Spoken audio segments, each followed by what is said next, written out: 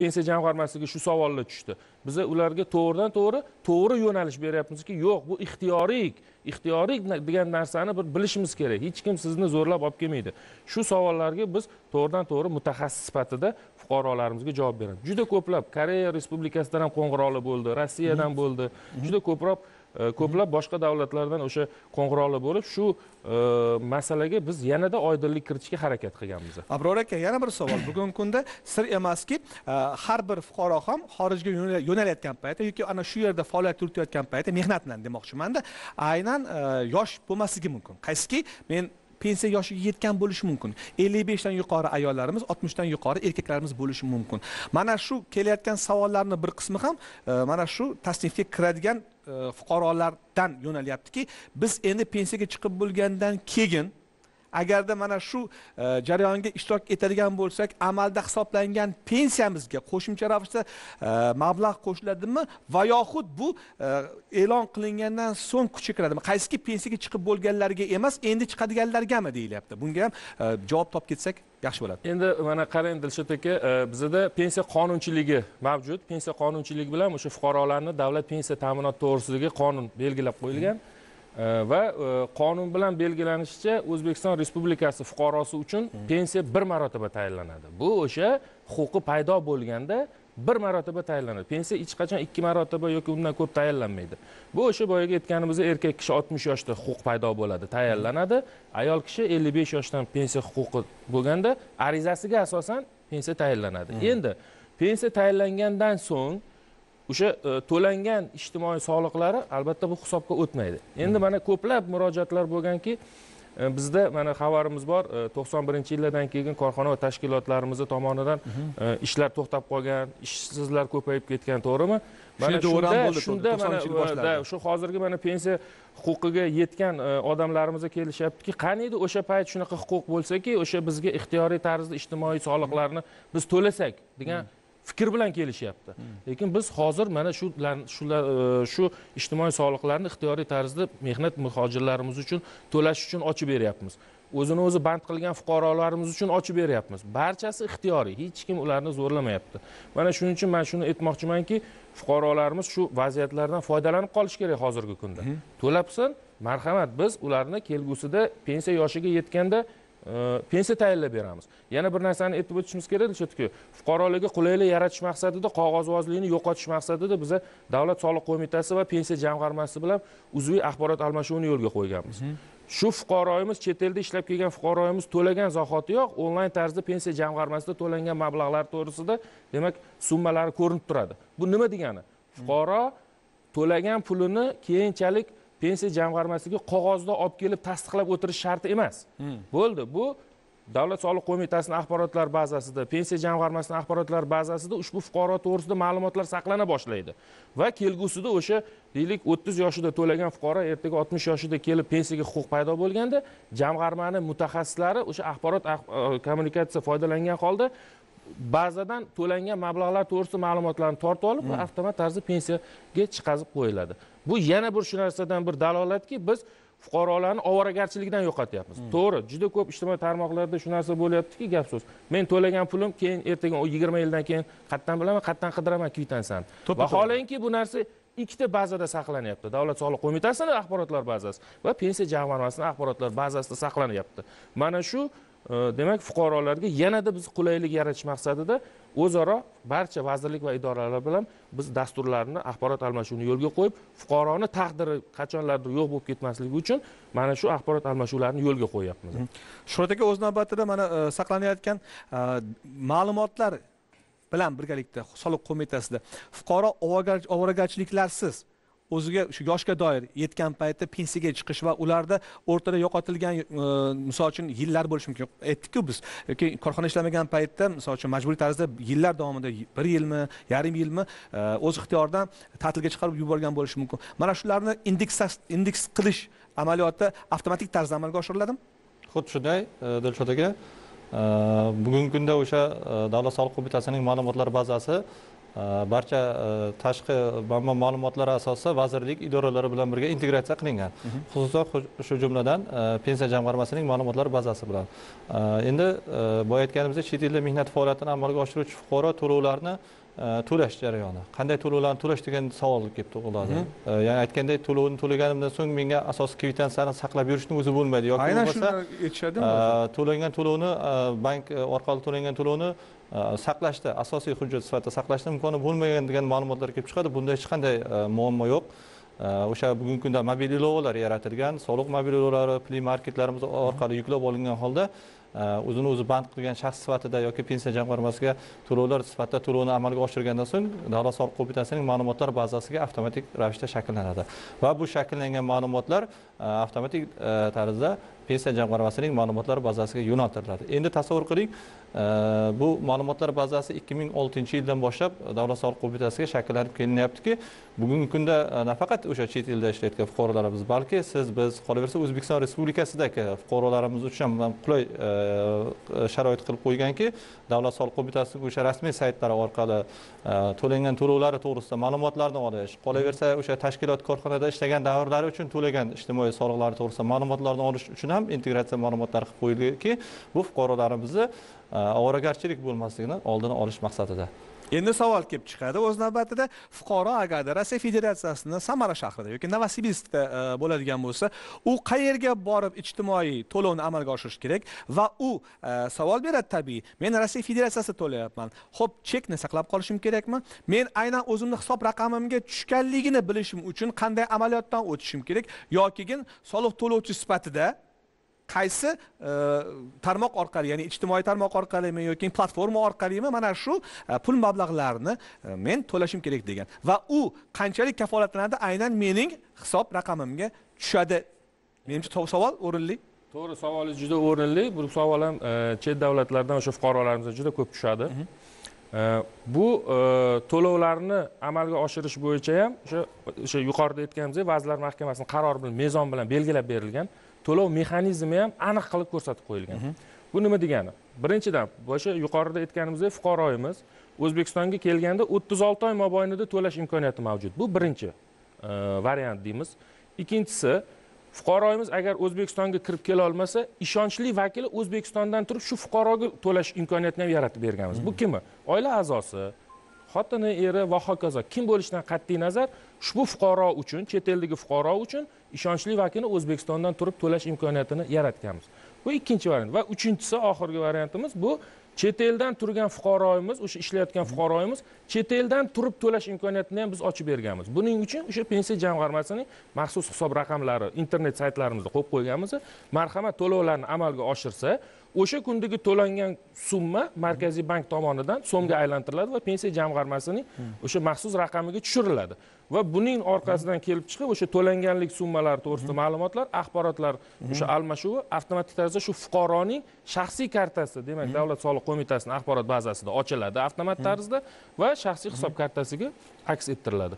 Va bu ma'lumotlar pensiya jamg'armasiga kelib ko'rinadi. Bo'ldi. Buni hech qanday bir qiyinchilik joyi yo'q. Chet eldan to'lasa ham bo'ladi ishonchli vakili yoki o'zi kelganda o'ttiz olti oy davomida ham to'lash imkoniyatini yaratib berganmiz. Chunki e, sizni fikringiz o'rinli lekin ko'plar misol uchun e, nafaqat o'sha o'ttiz olti oy davomida bir xillar misol uchun besh yil ishlashni e, o'zlariga shartnoma nuqtai nazaridan xohlashadi. Shu nuqtai nazardan men vaqtni yo'qotmasdan o'zimni misol uchun pensiya miqdorini ko'paytirib boraman degan xohish bildiradigan bo'lsa ixtiyoriy ravishda ana shu e, tarzda yondashganda bular qanday yo'l tutadi deb. Yo'q bu chet elda ishlab yurgan fuqaro e, chet eldan turib to'lashi ham mumkin. Shuni Uni aytyapman-da. hech qanday unga cheklov xorijiy valyutada misol uchun. Xorijiy o'sha valyutada miqdorda xorijiy valyutada to'laydi. Markaziy bank bizga so'm qilib pensiya jamg'armasiga shu fuqaroni pulini o'tkazib aynan o'zini hisob aynan o'zini hisob o'sha shaxsiy kartasi ochiladi davlat soliq qo'mitasining axborotlar bazasida. Mana shu ma'lumot pensiya jamg'armasiga kelib tushadi. Chet eldan turib to'lashni ham imkoniyatini ochib qo'yganmiz. O'z navbatida shuhrat aka sizga savol. Bu e, aynan o'zini shaxsiy bazasi ochilish amaliyoti qanday kechadi? Men misol uchun koreya respublikasida faoliyat yurityapman. Men e, mehnat shartnomasi bilan besh yilga yetganman. Men qanday qilib davlat soliq qo'mitasida o'zimni shaxsiy hisob raqamim ya'ni soliq to'lovchi innimni ochishim mumkin bo'ladi? Masofadan turib. Albatta bu uchun e, davlat soliq qo'mitasining o'sha may soliq o'z saytida soliq to'lovchilarning e, identifikatsion raqami mavjud bo'lmasa masofadan turib olish imkoniyati yaratilgan.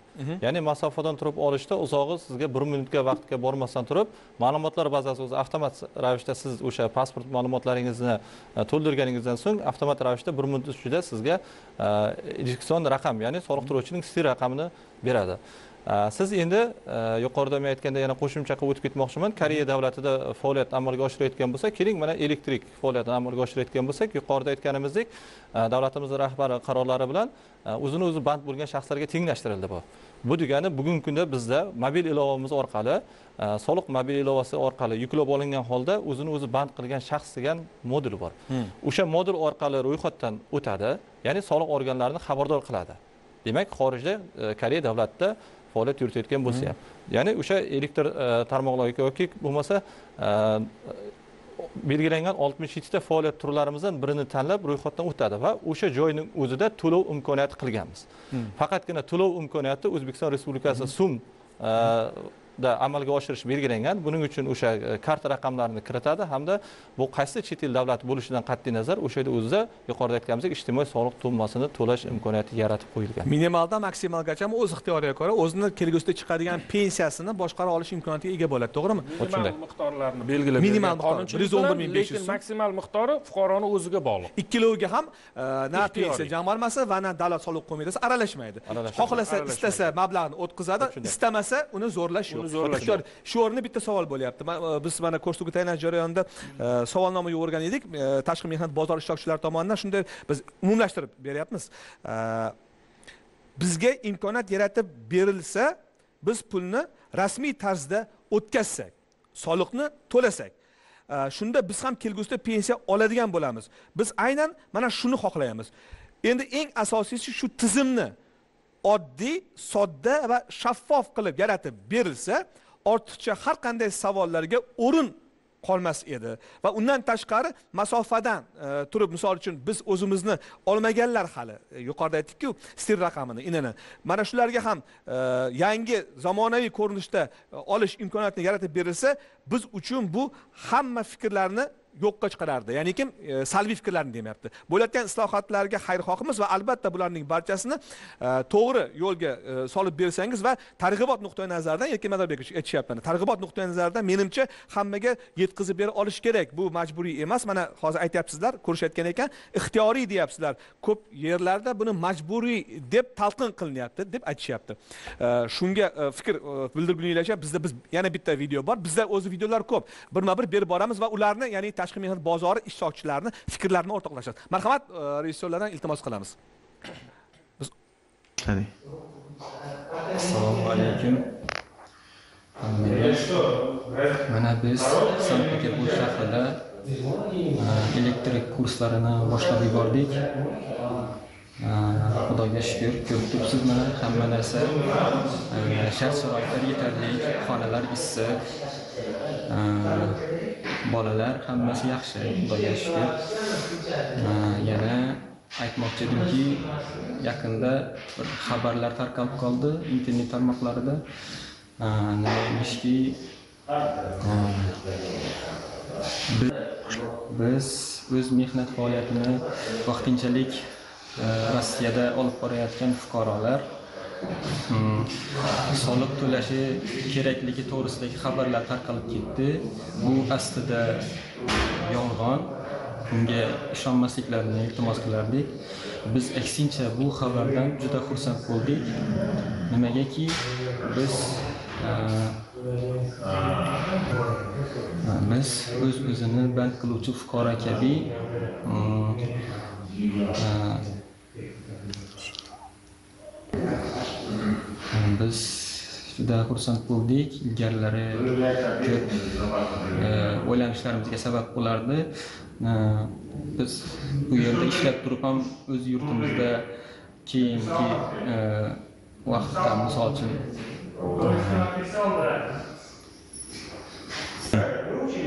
keyin keyingi davrimizda pensiya olishga imkoniyat bormi yo'qmi o'ylanib yurardik. Xudoga shukur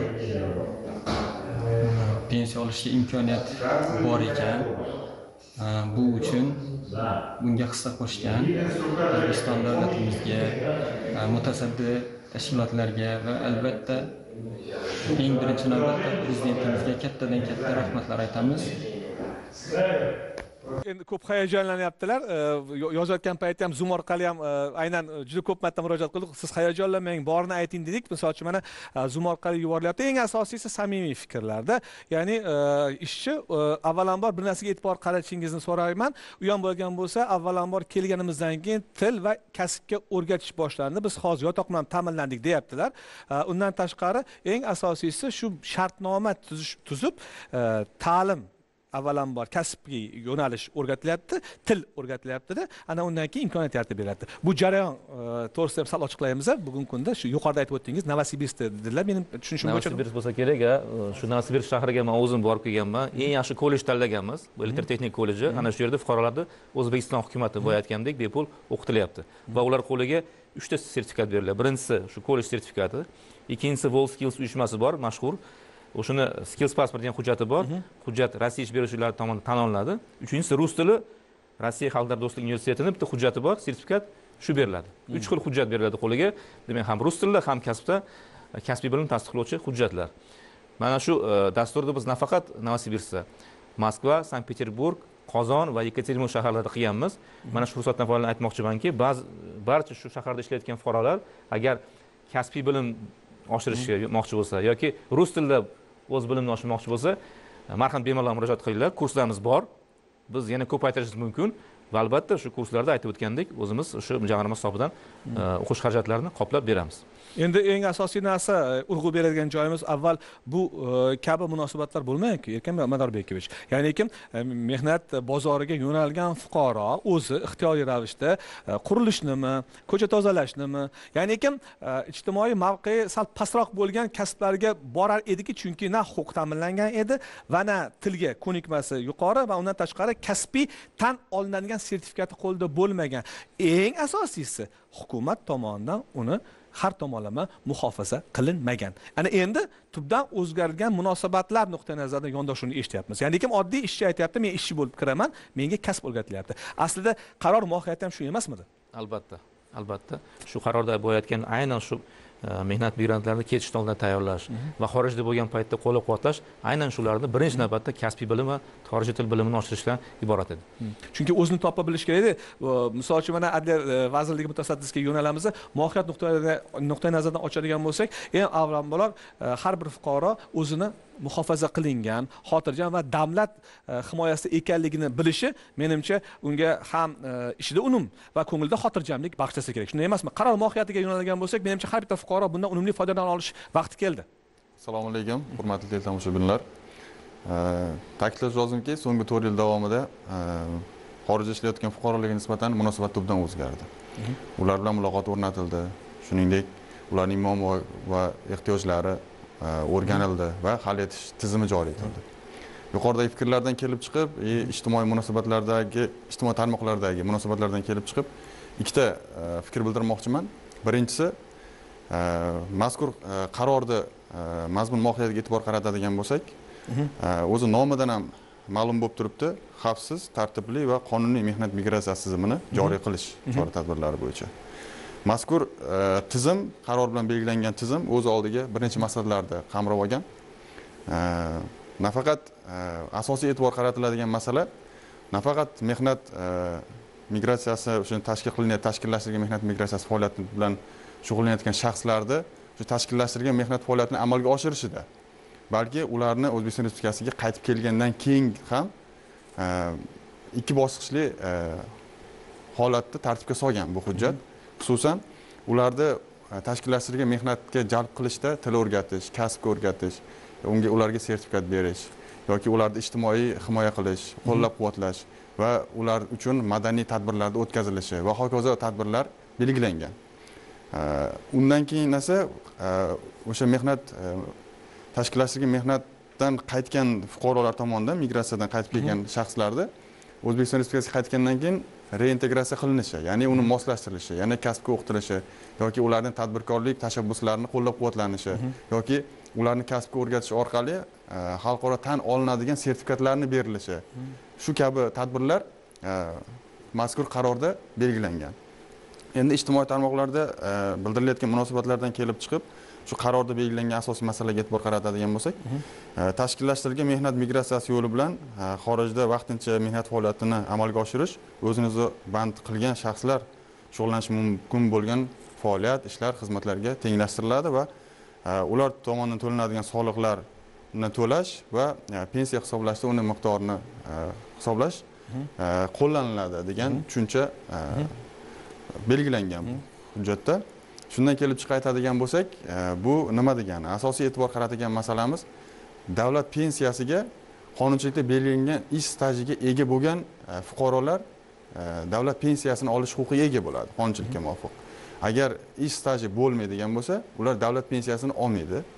Shundan kelib chiqadigan bo'lsak bu o'sha yuqorida fikrlar aytib o'tildi besh yil bo'ladimi o'n yil bo'ladimi? Misol uchun qirq yoshga to'lgan fuqaromiz shu mehnat migratsiyasi faoliyati bilan o'sha xorijga ishga ishlash uchun ketadigan bo'lsa u aytaylik oltmish yoshga kirgungacha oltmish yoshda davlat pensiyasi ta'minlanadigan bo'lsa yigirma yil davomida o'sha ijtimoiy soliq to'lovini to'lab yuradigan bo'lsa e, u yigirma yillik ish stajiga ega bo'ladi va bu pensiya hisoblashda yigirma yillik ish staji va uni to'langan miqdorlari inobatga olinadi yuqorida aytib o'tildi pensiya jamg'armasi mas'ul xodimi o'sha miqdorini eng minimali bir yuz o'n bir ming besh yuz so'm belgilanganligi bilan birga undan yuqoriroq to'lanishi ham mumkin bekorga u nimaga yuqoriroq to'lanishi mumkin degan savol ham kelib chiqishi mumkin. Bu yuqoriroq to'lanishi pensiya hisoblashda uni miqdoriga e'tibor qaratilishi nuqtai nazaridan o'sha ixtiyoriy ravishda fuqarolar tomonidan bu e, tartib e, joriy qilindi va ular ixtiyoriy tartibda bu to'laydi. Endi yuqoridagi e, savolingizdan kelib chiqib bir munosabat bildirmoqchi edim. Fuqarolar xorijda bo'ladigan bo'lsa bu qanday bu to'lovlarni amalga oshirish mumkin degan savolingizga. Davlat soliq qo'mitasi tomonidan adliya vazirligi huquqiy ekspertizadan o'tkazish uchun normativ hujjat loyihasi kiritilgan. O'zbekiston respublikasi vazirlar mahkamasining o'zini o'zi band qilgan shaxs sifatida faoliyatni amalga oshirish tartibi to'g'risidagi nizomni tasdiqlash haqida mazkur nizomda asosiy e'tibor qaratadigan jihatimiz mobil ilova yaratilishi va shaxsiy kabinet davlat soliq qo'mitasini saytidan shaxsiy kabinet ochgan holatda soliq to'lovchining e, e, shaxsiy e, jismoniy shaxsning shaxsiy identifikatsion raqamini mhm. kiritish orqali buni xorij davlatdagi fuqaromiz ham bemalol o'sha ro'yxatdan o'tish orqali yoki mobil ilova orqali bu ma'lumotlarni so'rovnomaga kiritish orqali to'lovlarni amalga oshirish mumkinligi bo'yicha tartib belgilanmoqda mhm. shu nuqtai nazardan bu bugungi kunda chet eldagi o'sha xorij davlatlaridagi fuqarolarimizni e, konstitutsiyaviy huquqlarini kafolatlovchi bir muhim hujjatlardan biri hisoblanadi. Sababi o'zbekiston respublikasi o'zini fuqarolarini o'zbekiston respublikasida hududida ham balki e, chet el xorijiy davlatlar hududida ham e, huquq va manfaatlarni himoya qiladi. Shu nuqtai nazardan muhim hujjat sifatida e'tirof etishimiz mumkin.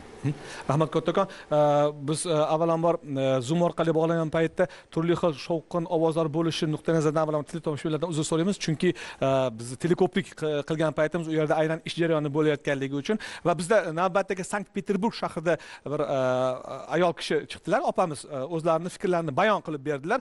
Ya'ni kim mana shu bo'layotgan o'zgarishlarga nisbatan e, nima e, fikr bo'lishligini va qanday avval bo'lganligi va o'zlari aynan kasbga shu yoshda yo'nalayotganliklari nuqtai nazarida ham. Rejissorlarimizdan iltimos qilamiz. Agarda tayyor bo'lgan bo'lsa shu videomiz shu opaxonni sankt peterburg shahridagi berib mana biz sankt peterburg shahridamiz.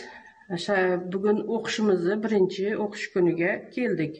Haqiqatdan mana e, davlatimiz tomonidan bizga sharoit yaratildiki o'qishga e, nima qil yordam e, qo'lini cho'zibdi. Shuning uchun mana hurmatli vatandoshlar rossiyada ishlayotganlar noto'g'ri bir informatsiya tarqalibdi internetlarda. E, to'lar ekan degan bu noto'g'ri informatsiya. Buni e, hurmatli vatandoshlar to'g'ri tushunishlarini xohlayman. Bunda bu o'z xohishimiz bo'yicha bu yerda bizdan hech kim налог so'rayotgani yo'q o'zbekistonda ham so'rayotgani yo'q. Bu o'zimiz xohishimiz kelajakda o'zimizni pension fondimizni ajratishimiz uchun. Xohlasak to'laymiz xohlamasak yo'q. Hozir например bir yiliga masalan mm, bir примерно o'n dollar to'lab qo'ysak u keyingi kelajakda oyiga minimalniy besh yuz ming o'zimizni so'mga o'zimizga pensiya bo'ladi. Bu o'z xohishiga va shuning uchun no- e, bu noto'g'ri informatsiyaga ishonib o'tirmanglar bu noto'g'ri. E, atak bizda mana o'zbeklarni bu yerda podeshka qilib mana ko'ryapsiz o'qish joyida turibmiz. Mana haqiqatda o'qishni boshladik. Ana shuning uchun rahbariyatga minnatdorchiligimizni bildiramiz. Kelajakda har kim o'zini taqdiri o'zining nimasini karyerasini o'zi quradi. Shuning uchun har xil informatsiyaga ishonib o'tirmanglar. Yaxshi bir fikr ya- yangradi erkin madalbekovich ya'ni kim? Kelajakda har kim o'zini yo'lini va o'zini karyerasini o'zi belgilaydi va yuqoridagi biz bergan e, mablag'imiz kelajakda bizga ma'lum bir miqdorda qaytib kelishini tushunishinglarni xohlayman deb. Ya'ni kim o'qishga e, hozir menimcha bel boylaganlar birinchi kuni deb turibdilar e, mana shu mana shu nuqtai nazarda yondashadigan bo'lsak menimcha tashqi mehnat bozori ishtirokchilarini aynan o'sha yerni o'zida o'sha muhitda o'sha davlatda va o'sha joyda talab qilinayotgan kasbga yo'naltirish menimcha eng asosiy vazifa bo'lsa kerak nima deb o'ylaysiz albatta endi murakkab vazifa bu asli nimadan kelib chiqqan vazifa chunki biz o'zbekistonda shu jarayonni qilardik ya'ni monomarkazlarimiz bor monomarkaz ikki yuzga yaqin kasb hunar markazlar bor man tushuntirib ketdim bittasi monomarkaz toshkent shahrida tushgan qolgan ham barcha viloyat markazlarida yil oxirigacha ishga tushadi. Hozir remont rekonstruksiya ishlari bo'lyapti va ularga jihozlar olib kelinyapti zamonaviy. E, bundan tashqari tuman darajasida o'ttizdan ortiq kasb hunar markazlarimiz bor va biz birinchi bor shu mahallaga tushib bordik. Mahallada bir yuz o'ttiz olti hozir birinchi qadamda kasb hunar maskan yaratdik. Ya'ni o'sha yerda murakkab bo'lmagan mahalla sharoitida e, shu ishsizlarga ayniqsa yoshlar va xotin e, ayollarga kasb o'rganish maskani yaratdik. Bu yerda o'qituvchisi bo'ladi u yerda jihozlar bo'ladi o'quv dasturi ham bo'ladi. E, endi nimaga fikr keldi? Aynan xorijda o'qitish. Chunki ko'p fuqarolarimiz xorijda. Ayniqsa pandemiya davrida ayrimlar hozir vaqtinchalik ishsiz qoldi. Shu ishsiz bo'lgan paytda ular sezdiki ish topayotgan paytda ish beruvchilar tomonidan yangi talab qo'yildi ularga mehnat bozorida. Yangi kasb o'qish ehtiyoj sezdi. Ana shundan keyin shu fikr chiqdiki ularda o'sha yerda o'qitish. Nimaga biz erishyapmiz birinchi navbatda ularda ham kasb hunar darajasini ko'taryapmiz. Ikkinchi o'sha yerda ular yashayotgan davlatlarda ham ish beruvchi ham mahalliy e, ta'lim muassasa tomonidan o'quv dasturlari talablari professional standartlari bizga kelib ana shu asosda o'zimizdagi o'qishlarni ham shunga qarab moslayapmiz.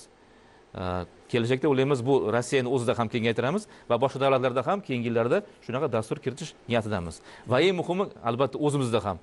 E, bu jarayon kengaytirib mana bugun aytdim hozir aytib o'tdim hozircha uch yarim mingta fuqaro o'rgatyapmiz. Yil oxirigacha uni ko'paytirmoqchimiz o'n barobar va keyingi yil eng kamida ellik mingta kamida bu ellik ming fuqaroni shu yerda o'zida o'zbekistonda zamonaviy kasb hunarlarga va xorij tilida o'qitmoqchi bo'lib ularni xorijga ketish uchun tayyorlayapmiz. Erkin madalbekovich bugungi kunda xorijiy mamlakatlar bilan birga bo'layotgan muloqotlar asosini agarda e, sizdan so'rasam bu faqatgina menimcha rossiya federatsiyasi yoki qozog'iston bilan cheklanib qolmasa kerak. Birlashgan arab amirligi bilan muloqot olib borilyapti deyilyapti. Yevro ittifoq e, tarkibiga kiruvchi mamlakatlar to'g'risida fikr yangladik keling shuni ham ochiqlaylik. Bugungi kunda biz e, tashqi mehnat bozoriga malakali mutaxassis yetkazib berish va shu orqali bu butun dunyoda bor narsa. Ya'ni kim? Aynan mehnat munosabatlarini boshqa mamlakatdan chaqirish orqali o'zida bo'lmaganligi uchun misol uchun shu yurtdan so'rash e, bu ixtiyoriylik kasb etsa ham lekin so'nggi paytlarda ko'p- ko'payib boryapti. Mana shu nuqtai nazarda bizni ham imkoniyatlarimiz yetarlimi yoxud e, yana e, kattaroq kuch tashlashimiz kerakmi? Ya'ni kim mehnat bozorini o'rganishga? Tashqi. Yetarli. Mana misol keltiray yaponiya davlatida yaponiya o'tgan yilda birinchi marta mehnat bozorini rasmiy legal mehnat migratsiyasiga ochdi. Uh, hozirda yapon mehnat bozorida uch yuz qirq besh mingta uh, mehnat migrantiga ehtiyoj bor. O'n to'rtta soha bo'yicha ochib berishgan u yerda uh, qurilish sohasi bor kemasozlik payvandlovchi qurilish qariyalar qarash shu sohada ular o'zbekiston mehnat bozoriga qiziqyapti. Ular uzoq o'rganishdi. Uh, bizni mahalliy mehnat kuchini bizni o'xshash munosabatlar oilaga qariyalarga va shu fikrga keldiki o'zbekistonda hozir biz o'tgan yili muhtaram prezidentimiz yaponiyaga bo'lgan tashrif doirasida biz alohida shartnoma tuzganmiz. Aynan malakali ishchi kuchni o'zbekistondan yaponiyaga yuborish hozirdan shu ishni boshladik. Mana biz ishga marhamat toshkent uh, ma- markazi yashnobod tumanida yapon tili kurslari ochildi. Va o'sha yerda kasb hunar kurslari bor. Aynan yaponiya mehnat bozoriga moslangan. Kim qiziqsa fuqarolar hozirdan o'qish boshlanishi mumkin. Aynan keyingi yil endi o'qish besh olti bir oy bir oy bir oydan olti oygacha yapon tili ham oson emas. Ana shu vaqtgacha o'ylaymizki yapon e, bizni hamkorlarimiz ham gapirdi. Agar pandemiya davri ochilmagan taqdirda ham biz tashkillashtirgan mehnat migratsiyasi ochib berishimiz mumkin. Faqat sizlarga iloji bor. iloji bor. E, birlashgan arab amirliklar aytib o'tdingiz. izrael davlati bilan mana aka aytib o'tdilar. Hozir shartnoma e, izrael hukumatiga berildi. Ular tomonidan ijobiy baholanyapti o'ylaymanki bu yilni o'zida keyingi yil boshida shartnoma tuzib u davlatda ham hozir mehnat migratsiyasi uchun ocha olamiz. Umuman juda to'g'ri gapirdingiz faqat biz ikki uch davlatga bog'lamasdan diversifikatsiya deydi ya'ni ko'paytiryapmiz e, geografiyani mehnat migratsiyasini lekin faqat albatta u yerda bizga talab qilayotgan o'sha davlatdagi mehnat bozoridagi bo'lgan kasbga va tilga bo'lgan talabni lekin o'qitishimiz kerak. Mana biz biz vazifa bunga qattiq ishlayapmiz va buni albatta amalga oshiramiz. Lekin madorbekovich bekorga men bu savolni o'rtaga chiqarmadim. Chunki qarang bugungi kunda e, har bir fuqaroni har tomonlama muhofaza qilishga qaratilgan loyihalardan biri sifatida garchand e, biz e, hozir o'zlarini tillaridan eshitgan bo'lsak ham ana shu yerlarni joylarni o'zida ochilgan o'qitish markazlari deya baholayapmiz. Aslida bu oson jarayon emas. O'sha mamlakatni hukumatidan ruxsat olish ta'lim tizimiga integratsiya qilish til bilishga sertifikat berish undan tashqari amaldagi ehtiyoj bo'lgan va talab bo'lgan kasblarni o'sha hududdagi fuqarolarga emasda. Misol uchun o'zbekistondan borgan fuqarolarga o'qitib berish va unga sertifikatlashtirish nuqtai nazaridan menimcha muloqotlar oson kechmagan bo'lsa kerak aslida. To'g'ri aytyapsiz mana rossiya federatsiyasi misolida keltirsak besh shaharga o'zimiz bor delegatsiya bilan. Har bitta shu qayerda o'qitadi biz fuqaroni kollej qanaqa? Uskunasi bormi? Uni direktori kim? O'qituvchilari kim? U yerda mahalliy hukumat nima deydi. Har biri bilan gaplashib kelib shu dasturni amalga oshirdik. Uni sertifikat kim beradi? Dasturni kim ishlab chiqadi? Masalan dastur bo'yicha biz eng rossiyada shu sohani egasi bo'lgan katta tajribasi bo'lgan tashkilot tanladik masalan kasb bo'yicha WorldSkills Russia deydi. Rossiyaning WorldSkills uyushmasi bu yerda oltmish to'rtta mutaxassislik bo'yicha zamonaviy dunyo standartida bo'lgan o'quv dasturlari bor ularda rus tili bo'lsa ko'p yillar xorijiy fuqarolar rus tilida o'qitgan rossiya xalqlar do'stligi universiteti bor. Ular dasturi bo'ldik dasturi ham rus tili kasb bo'yicha rus tili payvandovchi uchun rus tili betonchi uchun rus tili haydovchi aynan o'sha biladigan terminlarni o'rgatish ha shunga moslashtirib qildik o'ylaymizki shu dasturni o'zbekistonda ham amalga oshiryapmiz xorijda ham amalga oshiryapmiz. Maqsad bitta shu mahalliy ish kuchimizni xorijga bo'layotgan ish kuchimizni e, malaka darajasini ko'tarish. Ko'targandan keyin sam- o'zidan kelib chiqadiki daromad oshadi. Ular ish beruvchi ko'proq qadrlaydi. To'g'rimi? Daromad oshgandan keyin bu yerga kelgan yuborgan pullari ham e, oila daromadi ham oshadi. Mana maqsad shu. Chunki e, biz nimaga buni e, kengroq e, ichiga kirishga harakat qilyapmiz chunki yaratib berayotgan sharoitlar fuqaroni o'sha yerni o'zida avvalambor muhofaza qilishga qaratilgan bo'lsa ikkinchisi ularni topayotgan daromadlari avvalambor o'ziga buyursin. O'zligiga bo'lsin. Haloli bemalol.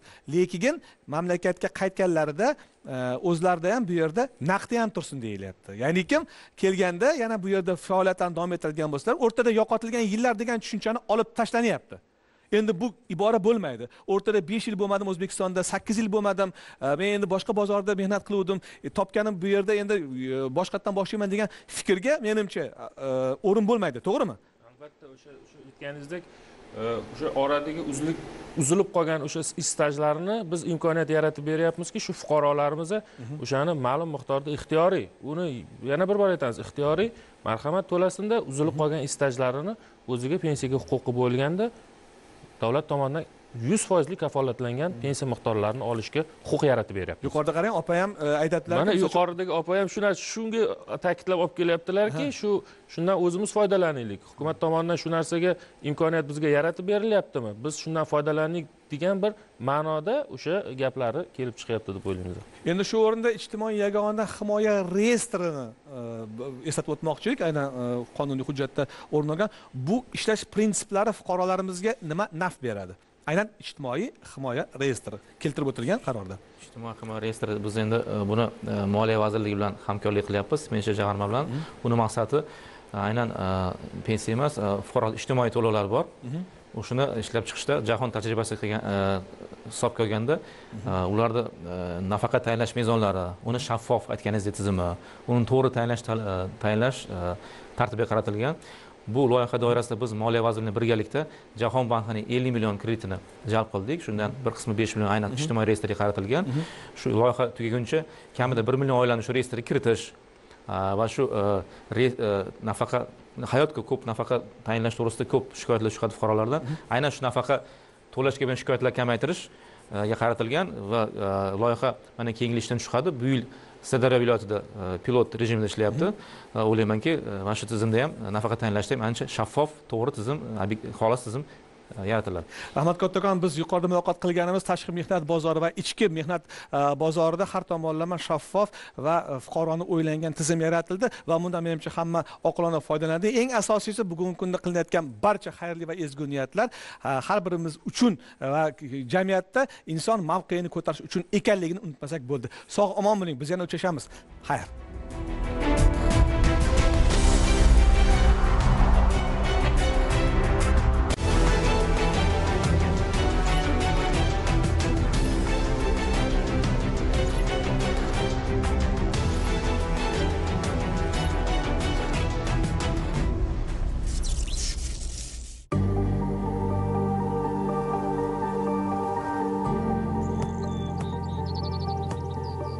Mana shu qishloqning qoq o'rtasida meni o'quv markazim bo'ladi.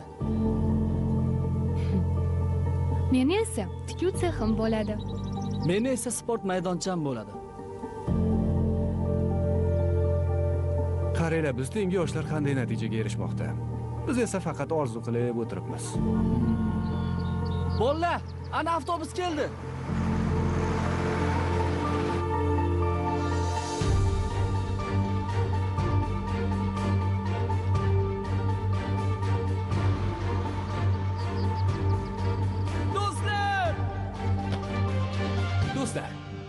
shaharda ish qidirib yuruvdim. Xullas yoshlar kelajagimiz degan bir ajoyib jamg'armaga ko'zim tushib qoldi. Menimcha bu bizni maqsadlarimizni amalga oshirishda juda ham katta yordam beradi. Qanday qilib? Qanday qilib? Bizni g'oyalarimizni amalga oshirish uchun banklardan istalgan miqdorda imtiyozli kredit olishda yordamlasharkan. Zo'r-ku. Albatta. Rostdanmi? Ha agarda biz ham o'z loyihalarimzni taqdim etsak barchamiz o'z orzularimizga erishishimiz mumkin. Qishlog'imizda ko'pchilikka ish o'rinlarini ham yaratardik. Judayam to'g'ri. Demak do'stlarim maqsad sari olg'a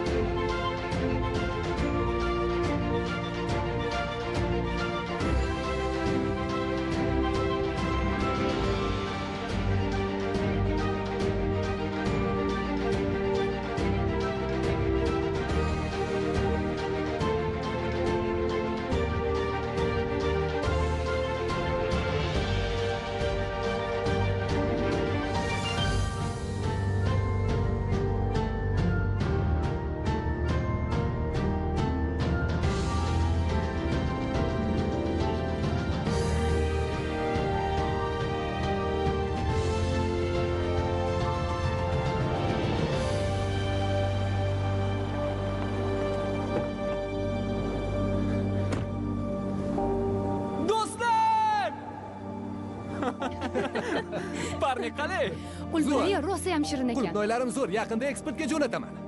Va nihoyat qishlog'imizda o'zim orzu qilgandek innovatsion o'quv markazi tashkil qildim. Kelajakda bu yoshlar albatta o'zini ko'rsatadi. Zavq bilan to'p surayotgan bu bolakaylar hali jahon chempioni bo'lishadi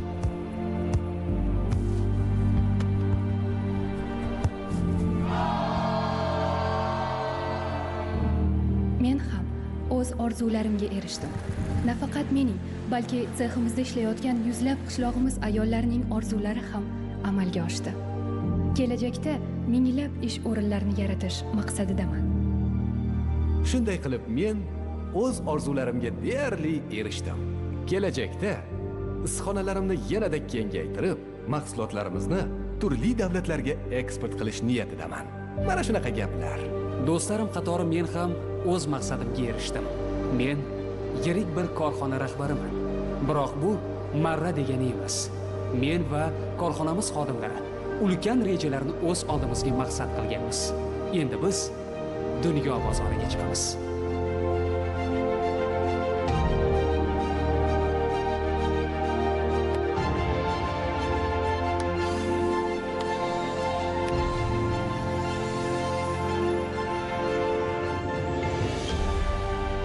Yoshlar kelajagimiz jamg'armasi. Kelajakni birga yaratamiz.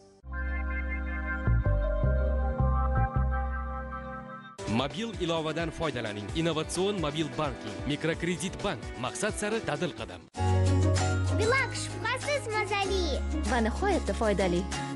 Ko'kmara idishlari ayollar orzusi ko'kmara idishlari rossiyada ishlab chiqarilgan oliy sifat. Endilikda perla premiumni xarid qilsangiz nam salfetkalar qo'shib beriladi. Mazali sariyog' har bir oila dasturxonida har kungi nonushta va likovita sariyog'i bilan. O'zbegim choylarida katta aksiya qimmatbaho sovg'alarga ega bo'ling. O'zbegim choylari. Тедбук. Орыс tilida o'z ona tilingda gaplash. живите только лишь одной мечтой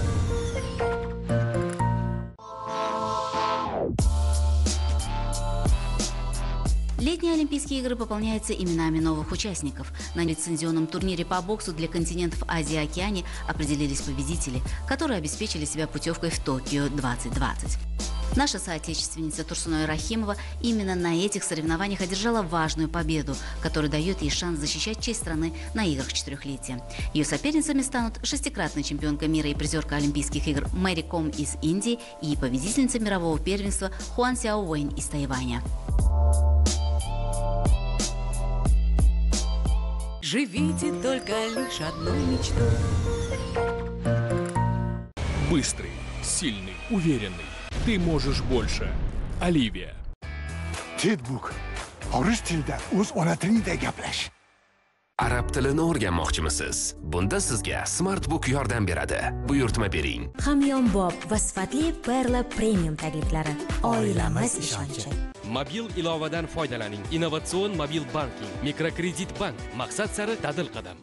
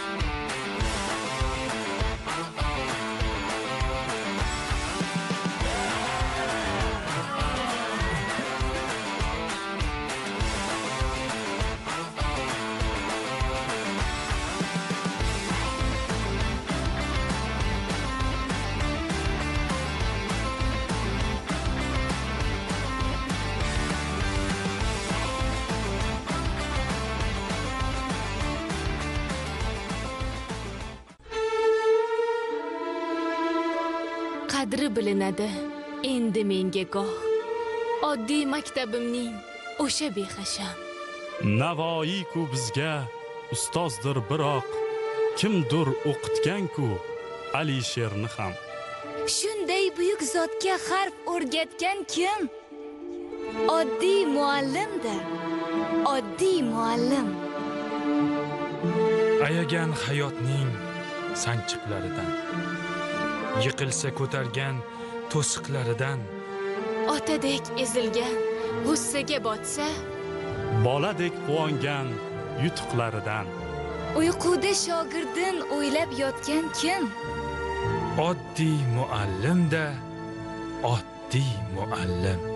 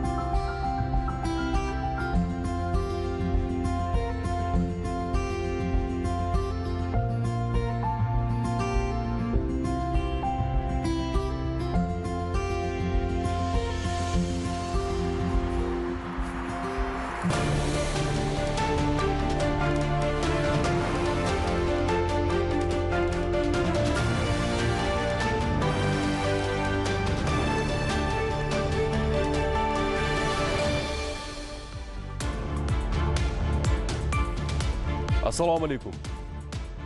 Xabar berganimizdek ayni daqiqalarda shanxay hamkorlik tashkilotiga a'zo davlatlar rahbarlari kengashining video anjuman shaklidagi majlisi bo'lib o'tmoqda. Unda o'zbekiston respublikasi prezidenti shavkat mirziyoyev ishtirok etmoqda. Rossiya raisligida o'tkazilayotgan ushbu uchrashuvda yangi global xatar va tahdidlarning kuchayishi sharoitida shanxay hamkorlik tashkiloti doirasidagi ko'p qirrali hamkorlikni yanada mustahkamlash masalalari kun tartibiga kiritilgan.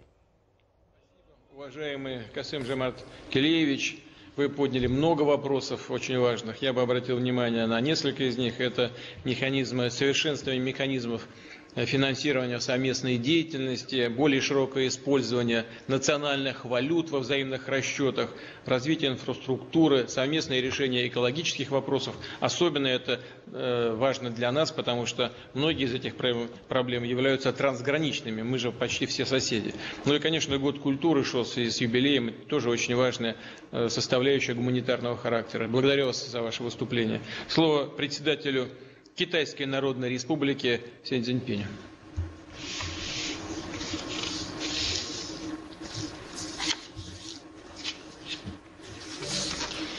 Уважаемый президент Путин, уважаемые коллеги, сердечно благодарю президента Путина и председательствующую ШОС Россию за замечательную подготовку данного заседания. Мы высоко оцениваем, что в период своего председательства российская страна достойно выполнила все обязанности и на фоне эпидемии коронавирусной инфекции продвигала набранную динамику развития ШОС. С дня учреждения ШОС преодолела непростой путь развития. Выдержав испытание временем, она стала важным конструктивным фактором как на Евразийском континенте, так и в международных делах. Государства-члены, руководствуясь шанхайским духом, укрепляют сотрудничество в области политики, экономики, безопасности и в культурно-гуманитарной сфере. ШОС сегодня служит примером международных отношений нового типа, основанных на взаимоуважении, равенстве, справедливости, сотрудничестве и всеобщем выигрыше. С момента вспышки COVID-19 взаимовыручка и совместные усилия стран-участниц в духе солидарности придают позитивную энергию устойчивому развитию организации и международному противоэпидемическому сотрудничеству. Уважаемые коллеги, пандемия не только форсирует преобразование международной архитектуры, но и втягивает мир в период потрясений и перемен.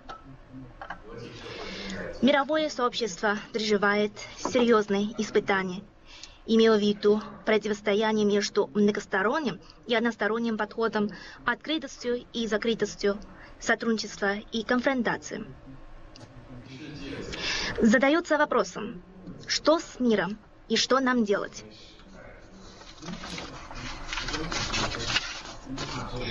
Умные осознают естественный ход вещей, а мудрые сумеют ему следовать. Земля – общий дом человечества, где интересы всех стран глубоко переплетены, а судьбы тесно взаимозависимы. Стремление всех народов к прекрасной жизни стало все сильнее. Мир, развитие, сотрудничество и взаимный выигрыш стали неудержимым влиянием эпохи.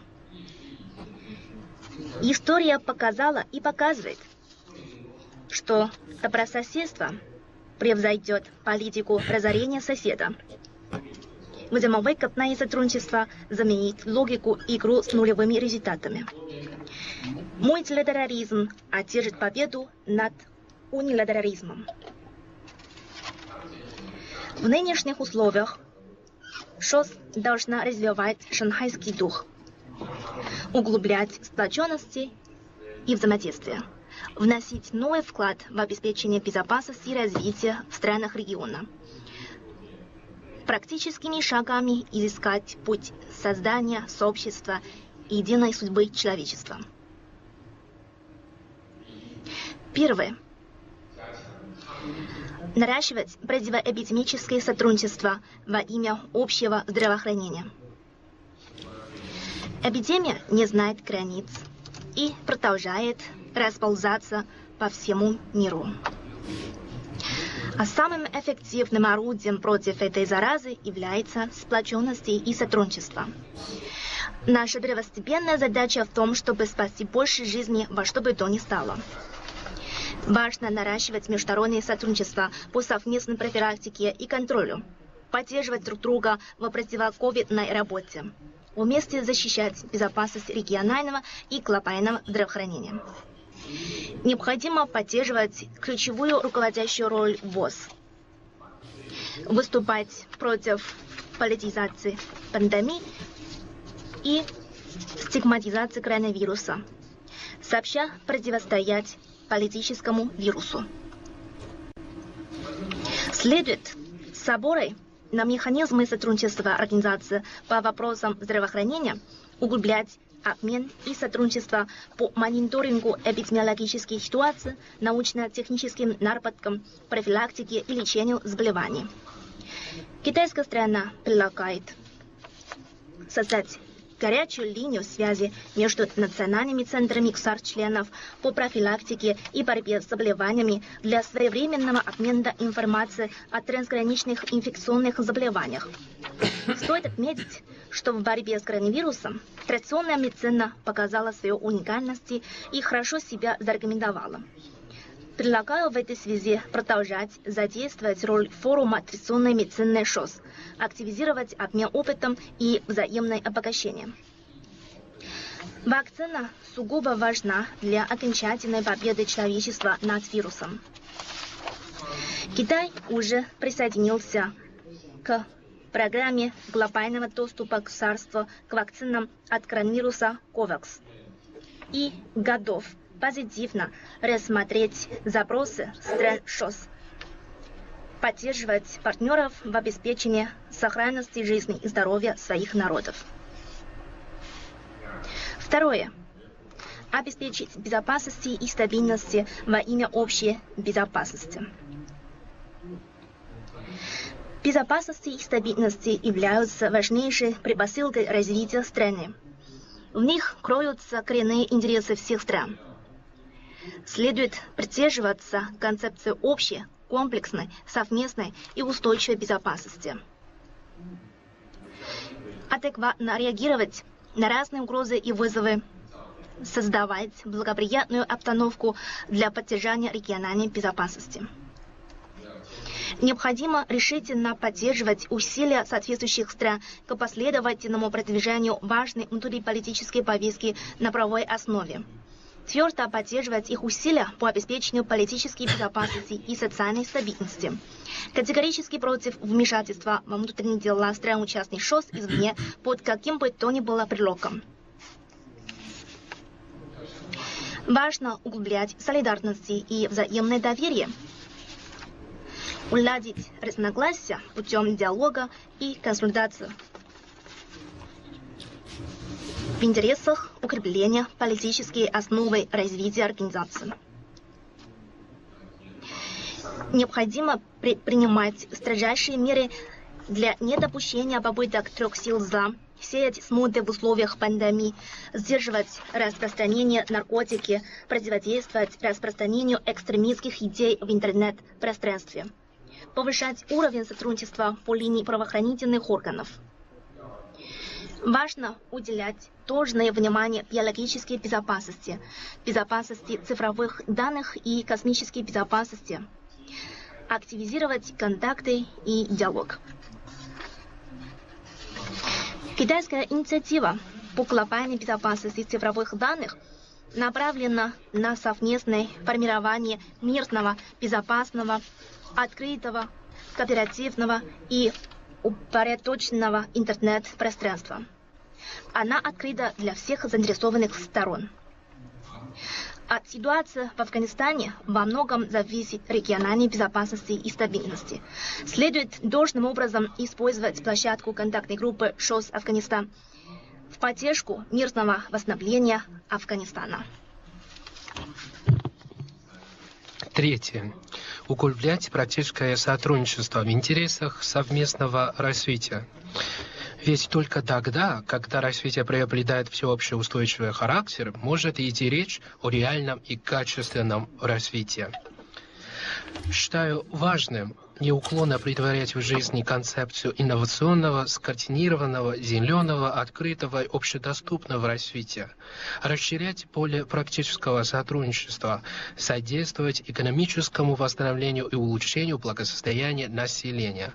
Мы должны и дальше продвигать укрепленные сопряжения инициативы «Пояс и путь» с национальными стратегиями развития и региональными интеграционными процессами, включая ЕАЭС наращивать инфраструктурную взаимосвязанность, углублять интеграцию производственных, поставочных и стоимостных цепочек, обеспечивать свободный региональный экономический кругооборот – Считаю необходимым интенсивно восстановить производство и деловую активность, в том числе путем формирования экспресс-коридоров для взаимных поездок и зеленых коридоров для грузоперевозок.